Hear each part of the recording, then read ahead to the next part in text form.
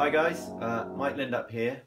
Um, it's the last two days of a Kickstarter campaign for an independent feature film called Arifa, um, which I was invited to appear in and then write the music for. And it's a double first for me uh, to appear in a, a film and also to have an opportunity to write film music, which is something I've wanted to do for years and years and years and years.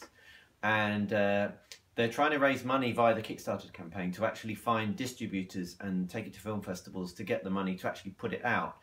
Uh, because it's a bit like the film's all in the can, it's all done, but it isn't going anywhere unless it finds distributors. So this is what the money's for. So uh, um, the invitation on Kickstarter is for you to invest in the film for uh, rewards like um, the music from me, and uh, there are all kinds of rewards that you can see on the site, and depending on what you um, uh, uh, wish or are willing to donate.